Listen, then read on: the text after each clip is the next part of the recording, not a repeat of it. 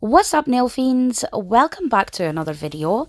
So before I start this, I just firstly want to apologise that I haven't been able to upload my Halloween content like I usually do, but I got a little bit unwell over the weekend, I lost my voice, all of that stuff. So yeah, I'm just recuperating now, so I thought I would share with you my favourites, and the first one is this spider design. And now moving on with the actual design guys, I'm first going in and I'm applying these really really long tips that I got from Nail Tech Supplies. I will leave all of the links to the products I'm using linked down below but these are their display tips but I thought they would make some rocking really long tips. So I'm basically just going ahead and applying these to all of the nails and check out how long these bad boys actually are. And then I went ahead and used my tip cutters and just took off a little bit of the length. And then later on in the video, I decided to take a little bit more off, but I will explain further more about that. So the acrylic system I'm using for this look today is by NTS and that's their Dreamcatcher acrylic system. So I will go further into detail about all of the products as I'm going along. So the first one I'm using is their clear one. This one is called Clear as Day and I'm basically just using this as a base for my nails. So I start at the cuticle area with a thin bead of acrylic and just basically create like a little um, smooth surface for me to start working on. Um, you don't necessarily have to go all the way down the tip, but I like to do that simply because it not only helps me with my filing, it just it gives me a little bit more stability as I'm working with the nail. So at that point I went ahead with my design but I actually didn't like what I did in the first place. So what I decided to do was once again take the nails down just a little bit and then I'm going to cover where I put that first teal layer. I'm actually using, um, I believe it's called Pale Skin and it's from Glam and Glitz and it's just basically a really nice creamy sort of colour and I'm applying this for my base on the middle finger. And with Glam and Glitz, I do find it a little bit easier working wet, so you will notice that my beads are a lot wetter than I usually work, and this is because I like to just prefer to paint it on basically. I'm just using this, like I said, to cover up that blue.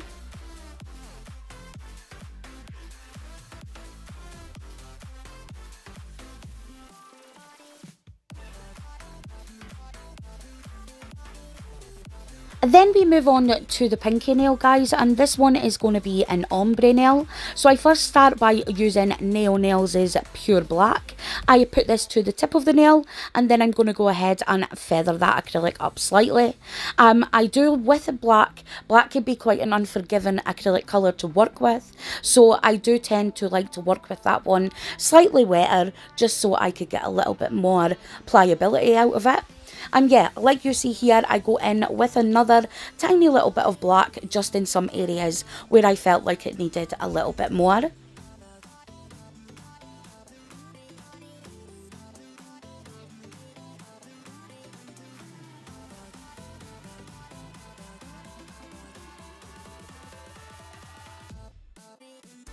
Then, like I said previously, guys, to ombre that, I'm using NTS's um, Midnight Stars, and this one is a beautiful dark blue with a slightly lighter blue um, glitter pieces in it. It's gorgeous. So it's really easy to ombre the glittery one over the top of the black. I just found it worked really perfectly that way. So that's exactly what I'm doing here. And then when I was happy with the blend area, I go in with another bead for the cuticle. Then my next step is to go in with the cuticle bead and this is super easy.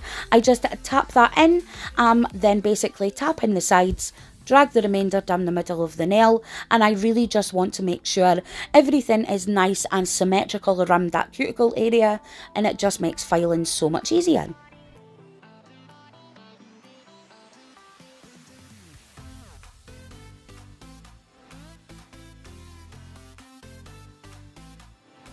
Then we next move on to the middle finger, which is going to be a French tip nail. So I'm first starting with my elongated nail blade. I'm using Warm Beige by Naio Nails, which is absolutely one of my favourites. It is so gorgeous.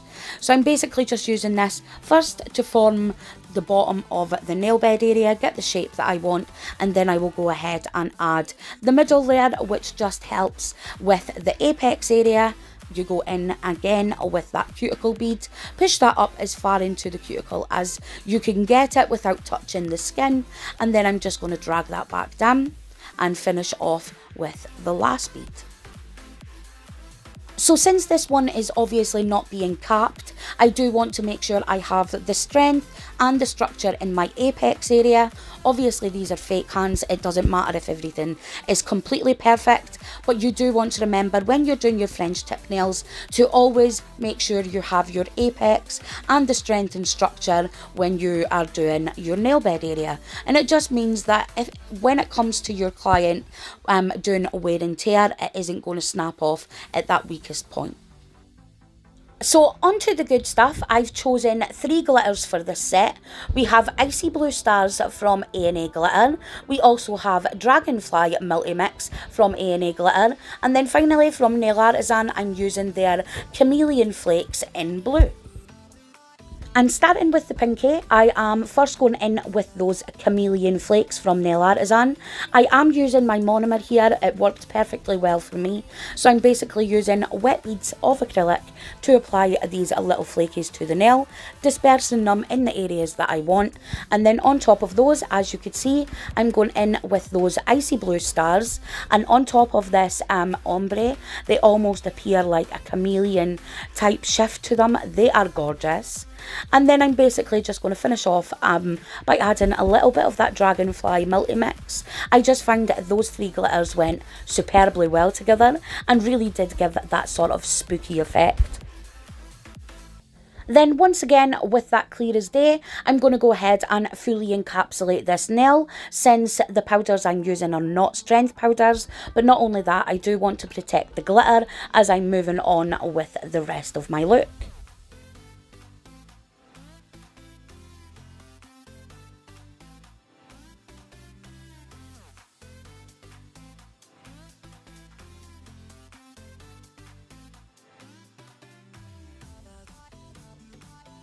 So we move back on to the French tip nail and I'm going to begin at the bottom of that nail bed area with that black acrylic powder simply because when I go ahead and put my glitters and things like that all on top of it it's going to have a really nice black line going around that whole nail bed area and I just think it looks great.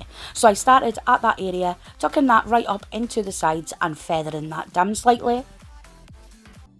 So next I'm going in with Midnight Stars. First I'm going to feather that back to the black and then I'm just going to go ahead and drag that down.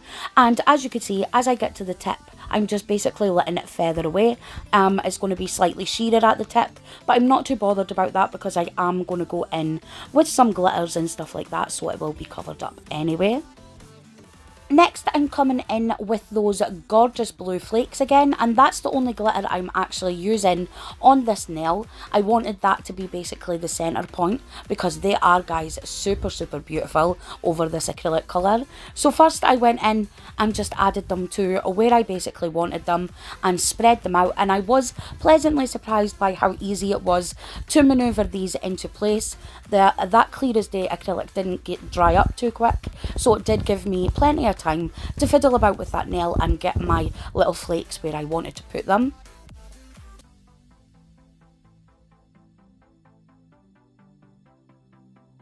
Then once again guys, my next step is to go ahead and encapsulate this nail. Again, just making sure my glitter and all of that good stuff stays in place, doesn't get like all fluffed up and whatever as I'm going on with my design. Again, you could totally leave this to the last step. I just like to do it as I'm going along.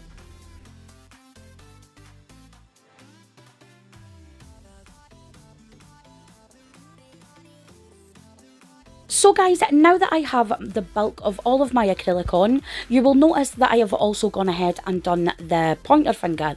Basically what I did with that one was add a layer of NTS acrylic in Angel Dust and then I put some of the blue flakes on it, but I have zero clue what actually happened to the footage. So you just saw me there sanitize the nails, remove all of the dust and debris, and I'm now going in to top coat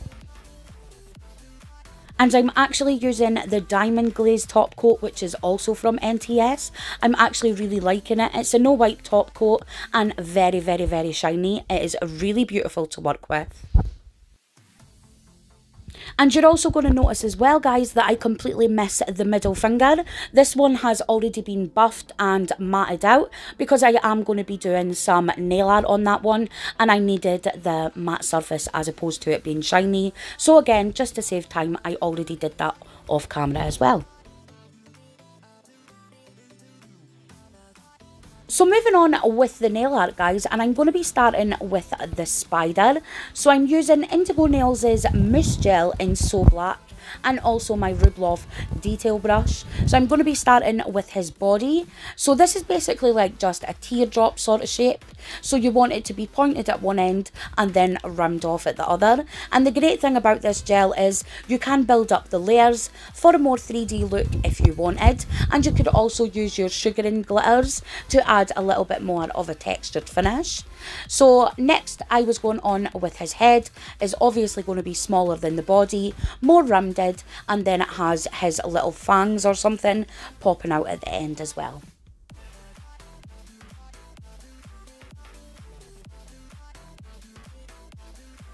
And then starting off from the side of his body, I'm now going to go ahead and draw his legs. So I decided to go ahead and basically keep them as like as I possibly could. Obviously, a spider's legs are not going to be all in the same direction, but I wanted to sort of keep them the same size, the same shape, coming from the same sort of areas, just so they fit the nail a little bit easier.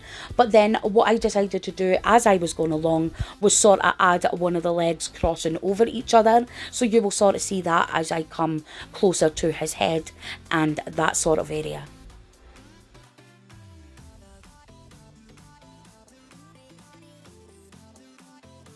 Then my next step was to cure that completely for 60 seconds and then I went in with some of that dragonfly glitter in um, basically where his little butt is. I added some of that glitter there for a more three-dimensional look and I also added some of those tiny little green pieces for his eyes as well. I did go over them with a white and a red later on but you still saw the really cool little glow of those glitters underneath those eyes and I thought that added just a little bit extra. And now for the rest of the nail, I just went with adding some of the glitters that I used in the other ones. It's not really a spider web, I don't even know what it was or what I was going with. I just wanted to add some of those glitters to that nail. So I did so in a sort of like horizontal pattern. I first went in with the flakes. Over the top of the flakes, I added the dragonfly glitter, which I must admit guys, was the first time I've used and I'm absolutely freaking in love with it. Don't forget, you could go ahead and use my code um, um, which is linked down below for 10% off your order at A&A Glitter. I will leave all of those details below for you guys.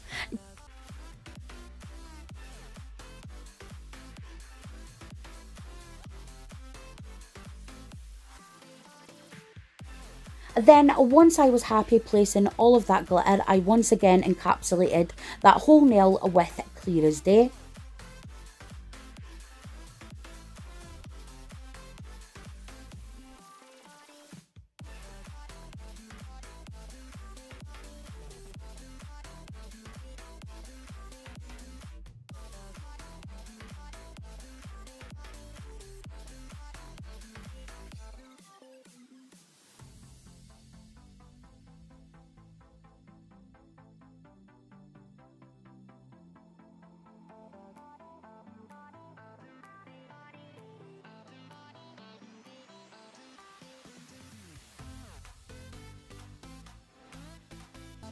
So moving on with that pointer finger, I wanted to do something a little bit different, something that I haven't really done before.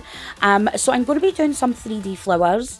I used um, Naio Nails' Pure Black and I'm also using NTS Midnight Stars for that. So I've basically gone ahead and double dipped into those and I'm going to be using um, some monomer with a little bit of acetone and my CGP Precise brush. And I'm basically just going to be doing small little flowers going down this nail and as you can see I'm keeping them super super flat and that's because for the first time ever I'm actually going to be encapsulating the whole nail including the flowers. I've wanted to try this technique for ages, um, never really got around to it, so I thought I would try it for this set, and I was really pleased how they turned out, guys. I'm not gonna lie, I actually really liked the sort of like glass appearance you got over the flowers. They were gorgeous. So basically, back to the flowers. You can see here that I have created four petals for each flower and I'm going to do three flowers right down the nail and I'll leave you guys to watch this flower in um, full motion.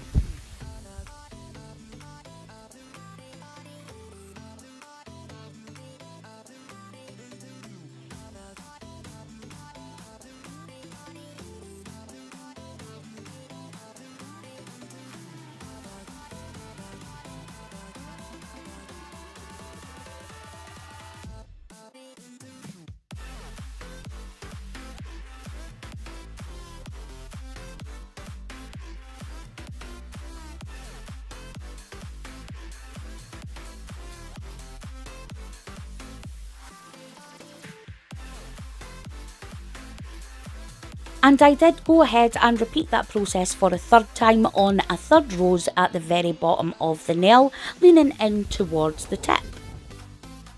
And then once again guys, I'm going to go ahead and encapsulate that whole nail.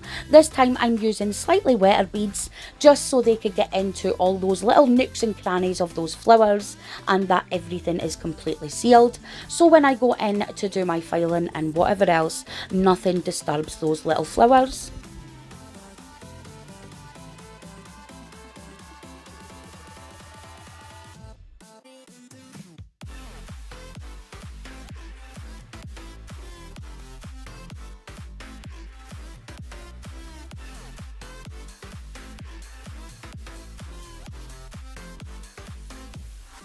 And then off camera, I just went ahead and filed, buffed and shaped those nails. And I'm now going to go ahead and just wipe away any of that excess dust and debris before I go in with a glossy top coat. And once again, the top coat that I'm using is the diamond glaze one, also from NTS. And then because it's me guys, you know I could never just leave it as it is. I did want to add a little bit of bling to these nails. I did keep it relatively simple. So for the ring finger, I just went ahead and added some Swarovski crystals that I got in the Hocus Pocus pack from Bluestreak Crystals. And I also added a little cross as well. I got them in a set from AliExpress.